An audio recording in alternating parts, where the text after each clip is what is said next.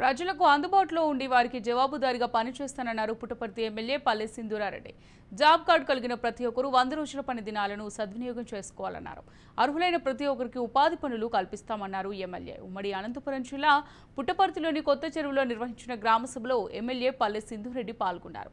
గత వైసీపీ ప్రభుత్వ పాలనలో అన్ని పంచాయతీలను నిర్వీర్యం చేశారన్నారు. కేంద్రం నుంచి వచ్చిన నిధులను వైసీపీ పక్కదారి పట్టించిందన్నారు ఎమ్మెల్యే సింధూరారెడ్డి.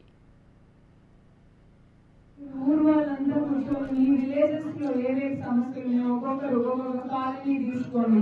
బీసీ కాలనీలో ఒక ప్రాబ్లం ఉంది. అక్కడ ఇల్లు కట్టారు కానీ ఎలక్ట్రికల్ కనెక్షన్స్ ఇవ్వలేదు. ఇంకో ఊర్లో ఇందాక అక్క చెప్పినట్టు డ్రైనేజ్ కనెక్షన్ ఇవ్వలేదు. ఇంకో చోట చెత్త తీసుకెళ్ళడం లేదు. ఇలాంటివి ఏవైతే చెప్పగలుగుతారో మీ మీ ఊర్లలోకి ఒక్కొక్క లిస్ట్ కింద పంపించుకోగలిగితే మాకు పంపించగలిగితే. అందరూ ఊర్లలో వాళ్ళు.